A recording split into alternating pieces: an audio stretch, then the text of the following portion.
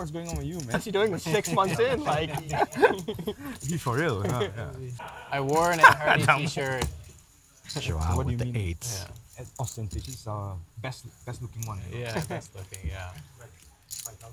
It's like uh, oh, okay. tattoo. I, I don't know how Yeah. better to describe it. I'm just happy it's gone. Meanwhile, narcissist. Lazaninkas checks back. Perhaps also looking for this opportunity, which appears to have been bestowed upon him by Joao, courtesy of the check. Having a club feels kind of bad here. You want to fold out. Call was made. Oh my word. Not quite all of it, though. Leaves him to himself 5k back.